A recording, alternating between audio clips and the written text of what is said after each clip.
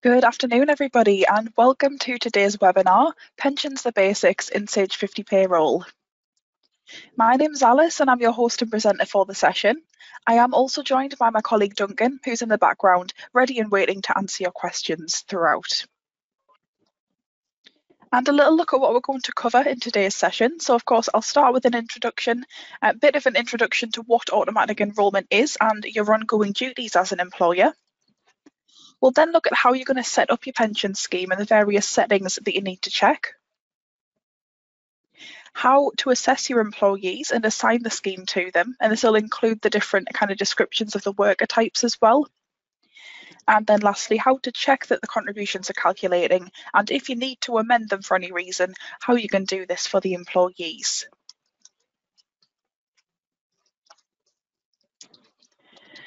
So under the Pensions Act 2008, every employer in the UK must put certain employees into a workplace pension scheme and contribute towards it. And this is called automatic enrolment. If you employ at least one person, you are an employer and you do have certain legal duties that begin on the day that your first employee started working for you. And this is called your duties start date. So I would like to begin with a bit of an explanation of the four steps of automatic enrolment. Firstly, you're going to choose a pension scheme and get this set up with your chosen pension provider. You and your employees will pay money into this scheme and ultimately it's going to help your staff pay for their retirement. Now there are loads of options out there in terms of which pension provider to go with and what type of pension scheme to set up for them as well, so that is totally up to you. Next step is going to be working out who to put into the pension scheme or assessing your employees and you'll need to assess the employee's age and wage to determine their worker category or worker type and whether or not they're going to be eligible for automatic enrolment. You also need to write to your staff as well, so this must be done within six weeks of your duty start date, and you're going to write to them to explain how automatic enrolment applies to them. This is often called pension correspondence, so you can do this by sending the pension correspondence letters to your employees. And a fourth step there is to declare your compliance. So you've got five months after your duty start date to do this. And it's basically declaring that your workplace pension is compliant and all of the information that you've provided is accurate. And if you would like any more detail or advice on these four steps, I have linked an article at the bottom of this slide which will take you to the Pensions Regulator website.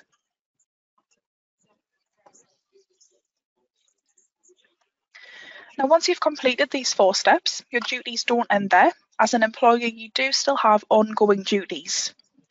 These are to assess your employees, so you need to assess their age and wage each time you pay them, see if there's been any changes and if they need to be put into the pension scheme. You can either do this manually or via the pension assessment, and that'll be for the pensions module users out there. Every three years, you also need to carry out re-enrolment duties, such as re-enrolling any employees who've left your scheme.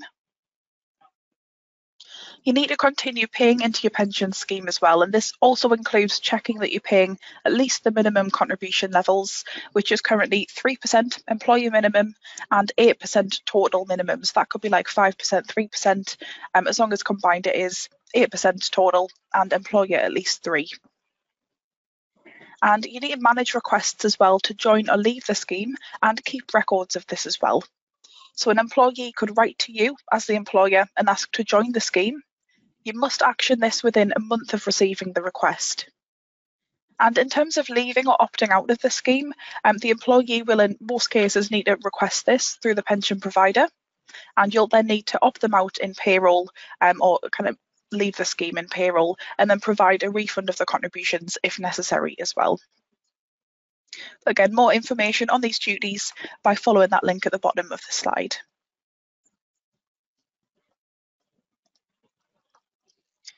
Now, in terms of setting up the pension scheme, it is nice and easy to do this in payroll as long as you've got the information that you'll need, um, as all of these settings are going to determine how the pension contributions are calculated.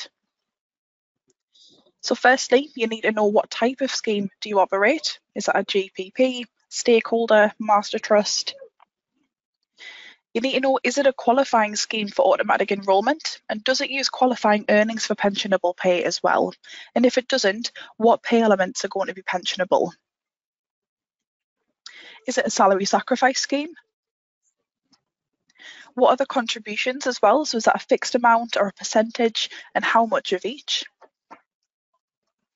And are the employee contributions deducted before or after tax as well? Because that will affect how it calculates.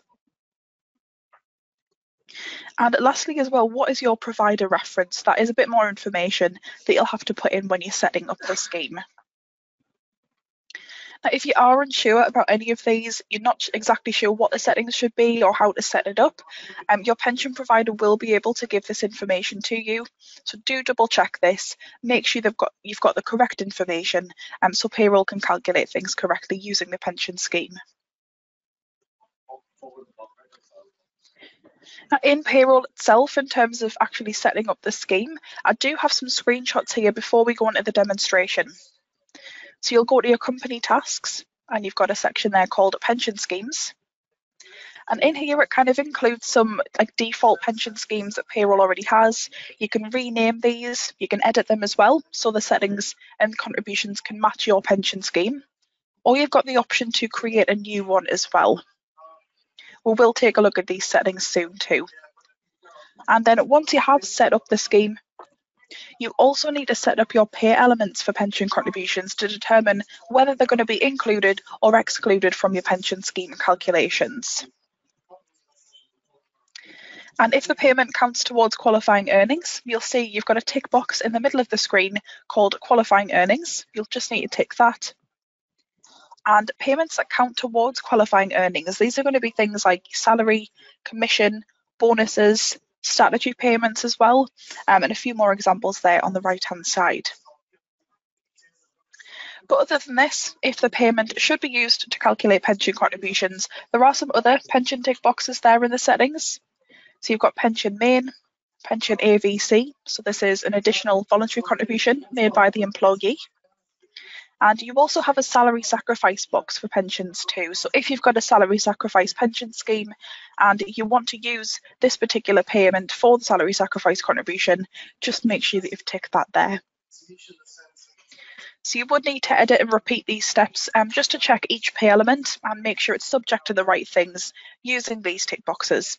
And then payroll is going to use these pay element settings along with the pension scheme settings to work out the contributions.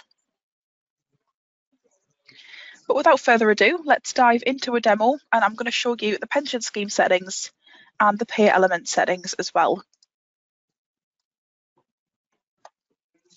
So I'm logged into my company here, just a small one for today's example. I've got five employees and they're all monthly. But let's actually just go straight to the pension schemes. So I can find that by going to my company tasks and you'll see pension schemes, just second option there from the tasks. Do have some default schemes, as I showed on the slides there, just kind of generic ones that are already there. But as you can see, I have already set up my two pension schemes. I've got Nest Pension and my Salary Sacrifice Pension Scheme too. At the bottom too, um, you can leave this blank like me, but you do have the option of adding an enrolment review date. So this would be the next date that you need to review your pension schemes for automatic enrolment. But for now, I'm just going to select my Nest pension and I'm going to click on edit. If it's assigned to anyone, you will get this message. Just a reminder really um, that it's in use by a few employees. So I'll click OK and these are the pension scheme settings. So I've got four tabs along the top, details, I've got employee, employer and provider. We'll start with details and we'll kind of go through what all of this means. So first of all, you've got a reference number and this is given to the scheme by payroll. As you can see, it is greyed out. You aren't able to change that.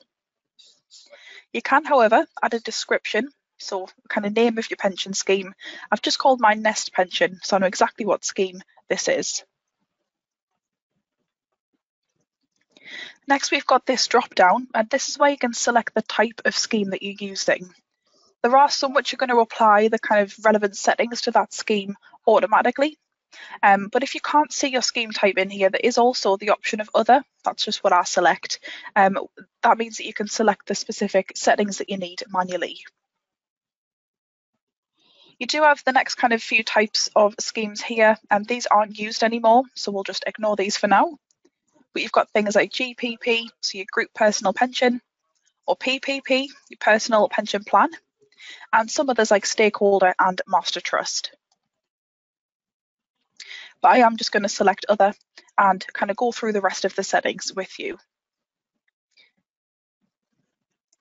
Next setting you've got here is a SCON or a scheme contracted out number.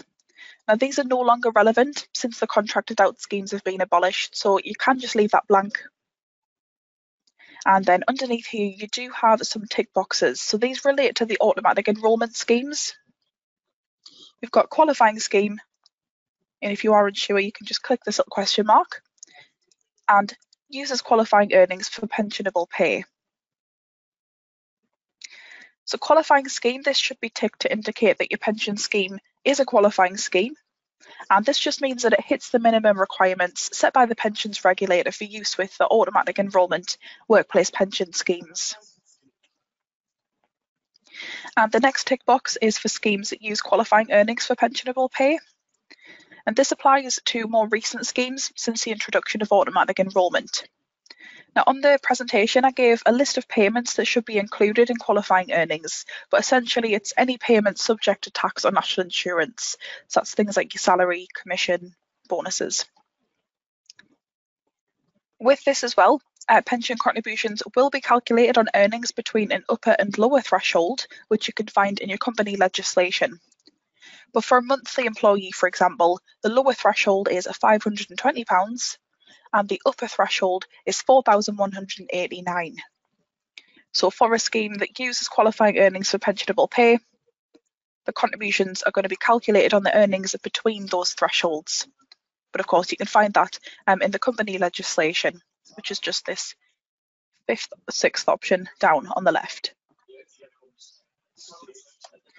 The other main setting in here is this last tick box at the bottom, and this just is for if you've got a salary sacrifice pension scheme, you just want to make sure that you've ticked this box. The contributions will work slightly differently for this type of scheme. Um, it's not a direct employee contribution, um, it's a salary sacrifice amount instead, but I will be showing you my salary sacrifice scheme that I've set up, along with where to check these contributions a little bit later. But that is the details tab. Let's move on to the employee tab as well. At the top here, you've got the option to choose from the drop down whether the contribution is a percentage or a fixed amount. And you can specify just in the box next to it the amount. So I've just set mine to 5%. So this is 5% of the employee's qualifying earnings. On the right as well, something I'd like to point out are the include statutory payments tick boxes. And we can see these are automatically selected and greyed out.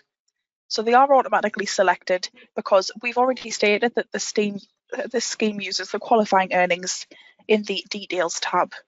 So that's automatically selected for us because of that setting. And the last important setting in here is the deduct before tax tick box. So this relates to the tax relief arrangement and you'll just need to make sure that you've set up your scheme to either deduct before tax if your scheme uses something known as a net pay tax relief arrangement or after tax, which would mean that the tick box would be unticked, like mine, and is known as a relief at source arrangement. But the way that that works is that you would deduct the pension after tax, then you would reduce the contribution by 20%, which is the basic rate of tax, and that's then claimed back by the pension provider directly from HMRC. But payroll does that calculation for you um, depending on this setting. And if you do want to know a bit more detail about the thresholds and kind of details of how pension contributions are actually calculated, um, we have got an upcoming webinar on pension calculations, and our first session is tomorrow for that one. But let's move on to the employer tab as well. Um, same option in the top left, either percentage or fixed amount. Mine's just set to 3%. So combined, I've got the employee is 5%, employer is three, and I've met that minimum requirement of 8%. And that's kind of all you really need to worry about in here. And lastly, the provider tab as well. So this is just where you can enter your provider details, um, such as the name. So I could just pop in um, Nest Pension again, address, anything like that. And you do also need to pop in your provider's reference there at the bottom. Any further details that you wish as well. But that is my scheme setup and a little bit more information on the settings as well. So just a bit of a recap on those most important settings. If we go back to the details tab, the user's qualifying earnings for pensionable pay, very important tick box there. And the deduct before tax tick box as well, just triple check those, uh, make sure they're selected correctly. But again, if you are unsure, check with your pension provider. And while we're in here as well, I'll just quickly show you the differences with my salary sacrifice scheme. Again, I'll click edit on this one. You can set up mul multiple schemes and then assign them to the relevant employees. But we can see I've got the same settings options in here. Difference with this window though is that I've actually got the salary sacrifice scheme tick box ticked. And one thing that does remove for me is the deduct before tax tick box. So that is not a relevant setting for a salary sacrifice pension scheme. So payroll's known to remove that and kind of apply any relevant settings because of this tick box. And the same applies with the qualifying scheme and users qualifying earnings. Uh, tick these if applicable, which they most likely will be. And same again, I've still got the 5% for the employee and 3% for the employer.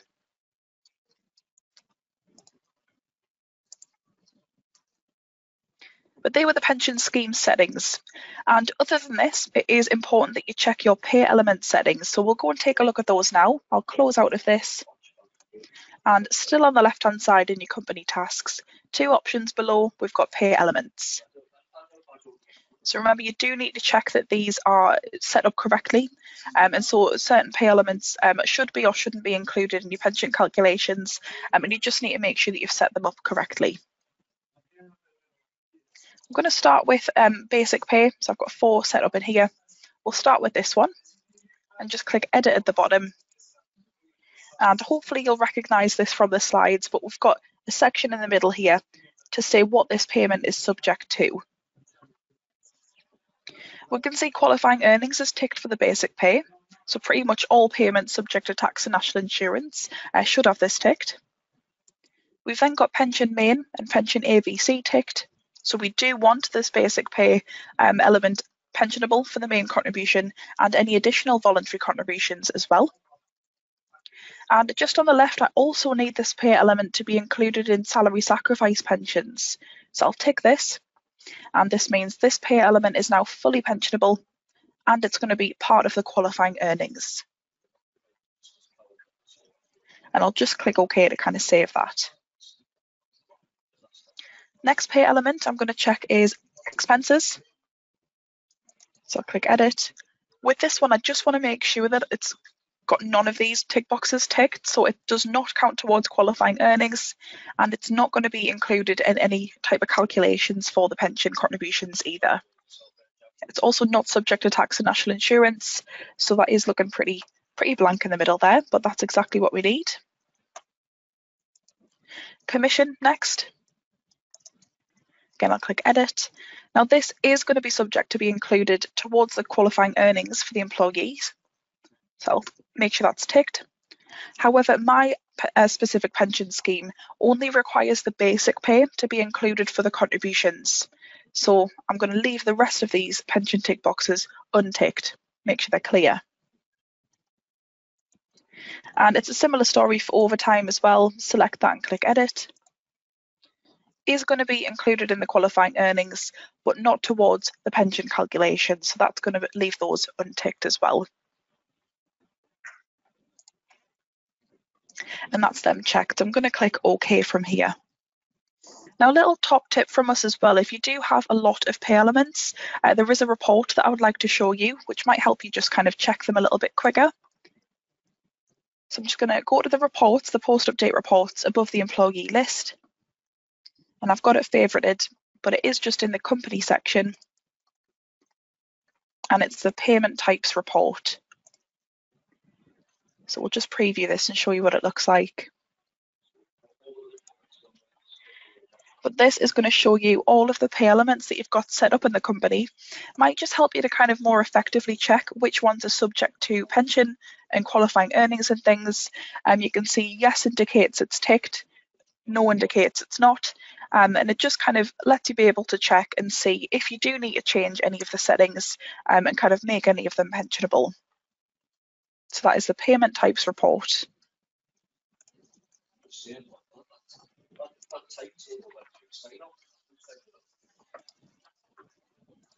And back to the slides, a little bit of a recap on that one before we move on to the next section. So you are going to set up your pension scheme according to the information that you've got from your pension provider. You're also going to check the pay elements as well, just to kind of check and determine whether they're going to be included in the qualifying earnings or not, or towards your pension calculations. And the next section is going to be all about assessing your employees and assigning your As part of your ongoing duties, you must assess your employees each time you pay them. And you can do this either manually, which we'll be going through today, or if you are a pensions module user, you can do that via the pension assessment. Uh, we do have a separate webinar going over all things pension assessment if you do want a little bit more information on that but you're going to assess your employees um, to determine which worker category they fall into or worker type. And these categories are eligible, non-eligible or entitled. So eligible employees, this is the worker category who must be automatically enrolled into your pension scheme. And before we move on, just a little bit more information about these worker types. So starting from the left, we've got entitled. This is for employees aged 16 to 74, working in the UK, earning below £6,240. And these employees have a right to join your pension scheme if they wish. And if they do join that scheme, um, employers have the choice whether to contribute, so they don't have to. Next, we've got eligible. This is for employees aged 22 to state pension age, working in the UK, earning above £10,000. These employees are the ones who need to be automatically enrolled into the scheme. So even if they don't want to be part of your pension scheme, you must still carry out your automatic enrolment duties, and then the employees will have the option to opt out if they wish. And lastly, we've got non-eligible employees. These are people aged 16 to 21 or state pension age to 74, working in the UK earning above £10,000, or it's going to be employees aged 16 to 74, working in the UK earning between £6,240 and £10,000. And these employees have a right to opt into the scheme. And slightly different obviously entitled workers, if they join the scheme, the employer can choose to contribute. Whereas if a non-eligible employee opted into the scheme, the employer would have to contribute. So there's a slight difference between those two there. But whether you assess the employees manually or via the pension assessment, three things are going to be checked to determine what worker type they fall into. And that's going to be the age, the UK worker status and their wage. So to manually assess the employees, starting with age, you're going to check your process date and open up the employee record. And the employee's age is on the right hand side of the personal tab underneath the date of birth. So you just need to make a note of what that is. UK worker status as well, um, still in the employee's record, but this time on the employment tab, you're just going to check whether that non-UK worker box is selected or cleared. And as for the wage, again, check your process date, but this time you're going to go to enter payments. And in the information tab, you do have a pensions folder on the left where you can see what the qualifying earnings this period is um, or are for the employee. So nice quick checks to do that. Um, but yeah, that's how you'll kind of assess your employees each period. A pension scheme can then be assigned manually in the employee's record, or automatically via the pension assessment for those of you who are pensions module users. If you are a pensions module user, very important to not assign the pension scheme manually in the record. It is important to let the pension assessment do all of that for you. But for those of you who will be doing it manually, you don't have the pensions module, let's just dive straight back into a demo and I'll show you how you can assign those pension schemes manually. Now, for the sake of this webinar, I have already assigned a scheme to a few of my employees, um, but let's just take a look at where I would do this. So employee number one and two, they're already in a scheme. I'm going to open up the record. And for employee number one, I'm going to go to the pensions tab. And I'm just going to click on manage schemes. Now, as I said, I do already have one in here for them, but if you wanted to add a new one, all you would need to do is click add. Using this drop down here, you'll just select the scheme. So let's say I wanted to add the salary sacrifice pension scheme to them. You're going to add a joint scheme date, which is already set correctly for me, but you can edit that if you need to. And you would just double check the contributions as well, but we'll come back to this a little bit later. So I'm not actually going to add it, but just to show you again, on my next employee, that's going to be the pensions tab, manage schemes, and add. You'll just select that from the drop down double check your joint scheme date and check the contributions as well. You do also have a little tick box at the bottom um, just to kind of confirm whether this is going to be the primary scheme for the employee.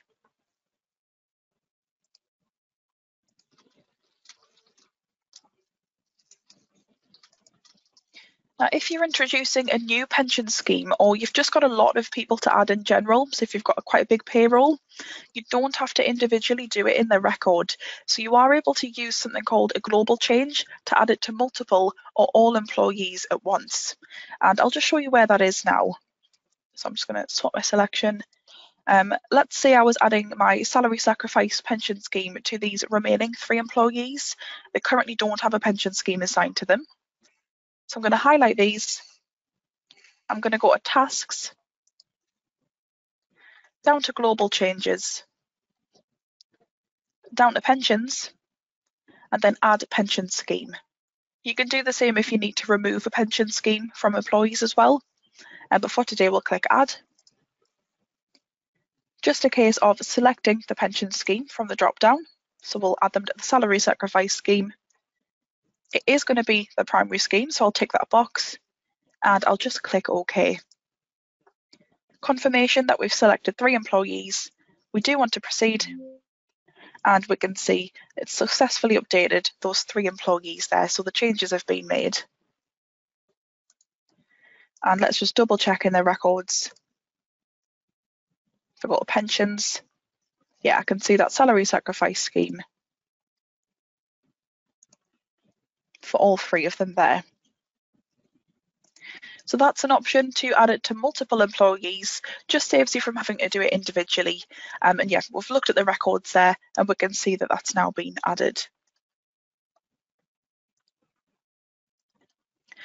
So that was how to assign a pension scheme, either individually in the record by clicking on Manage Schemes and Add, or you can add it to multiple employees at once using a global change. And again, you can do that to remove a scheme or kind of leave, make an employee leave a scheme as well. Just a reminder, you can find all of this information that I've put on the slides if you download the handout, um, just using that piece of paper icon um, that you've got on the webinar control panel.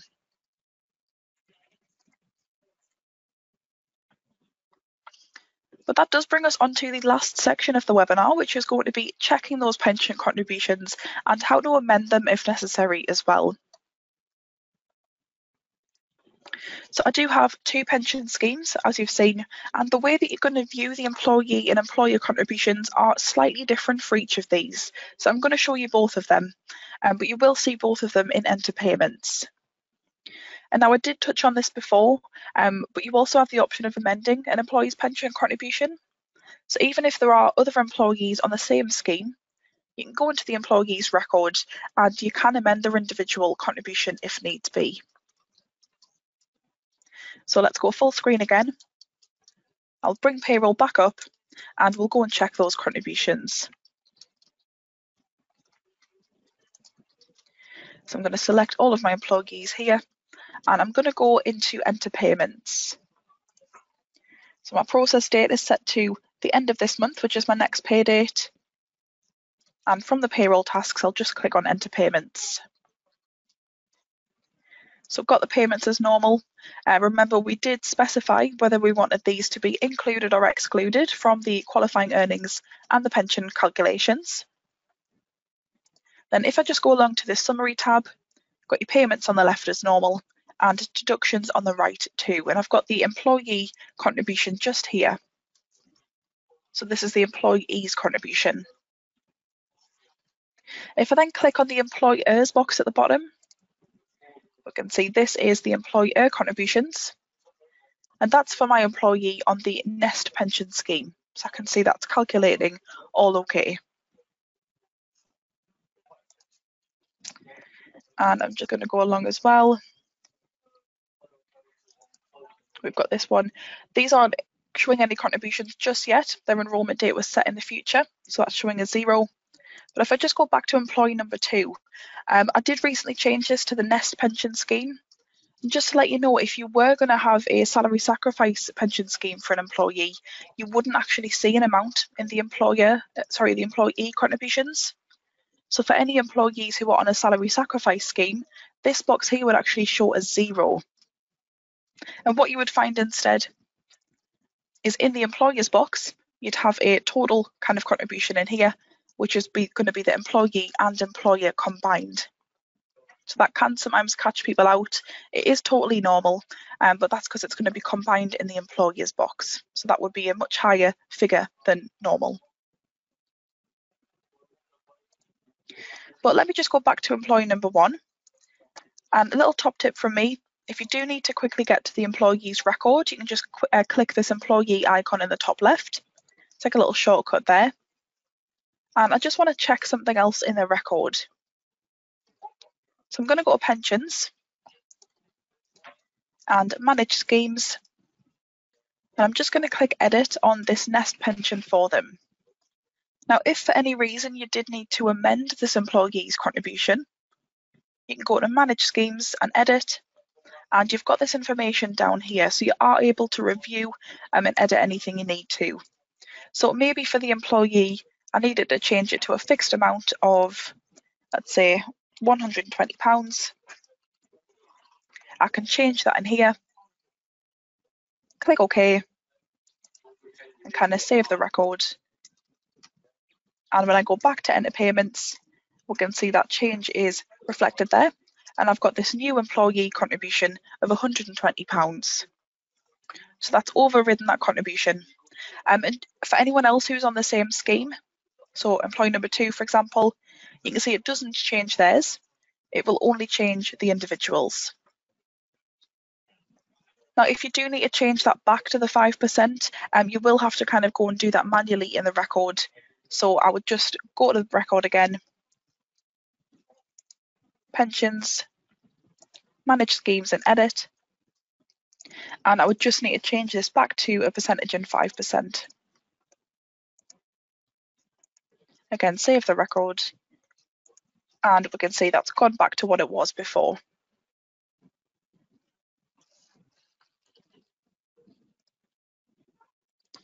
So a little re recap before we kind of finish things off. So you can view the contributions in enter payments. And remember that salary sacrifice schemes will show differently. So they'll show zero for the employee contribution, but you'll have a kind of combined contribution in the employer box. So that will show um, a kind of larger figure than you're expecting. And if you do need to amend the contributions for any reason, you'll do that in the pensions tab manage schemes and edit. And you've got the options to kind of review those contributions at the bottom.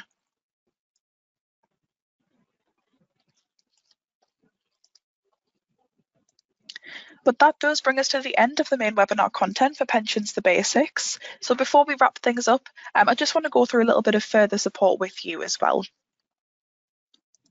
So for webinars, me and Duncan have loads coming up this month, um, including lots more pensions um, webinars on things like the pension assessment, pension calculations, as I mentioned as well.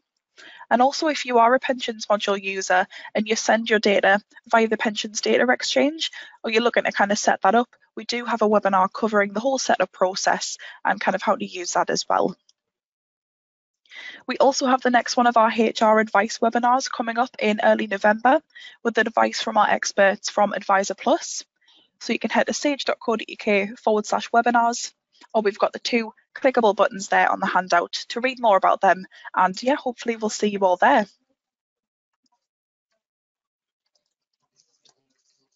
Something else to be aware of as well is our one-to-one -one bespoke training options. So this will be amazing if you, you know, in general new to payroll or you're just starting out with Sage 50 payroll.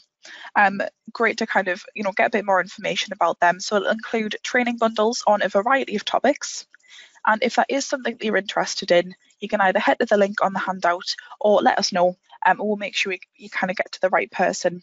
You can also email us at UKI Sage University at sage.com for a personalised quote.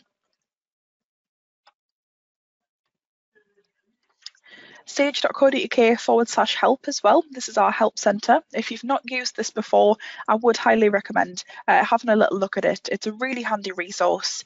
Um, you can search the knowledge base for support guides, demonstration videos. You can access a whole section on just webinars to review all of the previous recordings and things as well. And if you do need to get in touch for any reason, you do have the contact options to get in touch with us as well. And lastly, Sage University, so sageu.com. You can set up a free account here.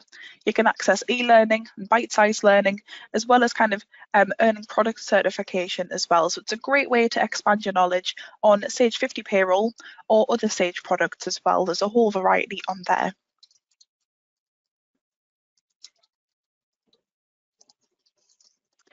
But I would like to take this opportunity to thank you very much for your time this afternoon. If you do have any last minute questions there, make sure you get those into the questions panel and we will try to answer all of those by the end of the session. If you are leaving us now, remember as well you can download the handouts, so that will include all of the slides from the webinar, and feel free to copy any of those questions or answers. If you found any of them um, particularly helpful, um, you can keep those for future reference as well. And last thing from me, there is also going to be a short survey that you'll get as you exit the webinar.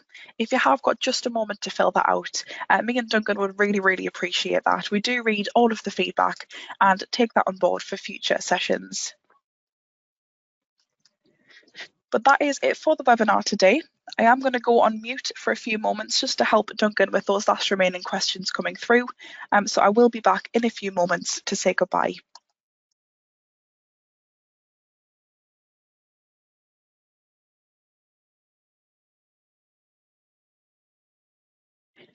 Hello everyone, that's just me back again. Uh, it looks like Duncan's managed to answer all of those questions, so massive thank you to him um, for helping me out for, the, for today's session. And yeah, for the rest of you, um, keep an eye on your emails for a recording of the webinar coming through. You can watch that as many times as you need to. And we hope you enjoy the rest of your day. Hopefully we'll see you on another webinar very soon. So on behalf of me and Duncan, we'll see you next time. It's goodbye for now.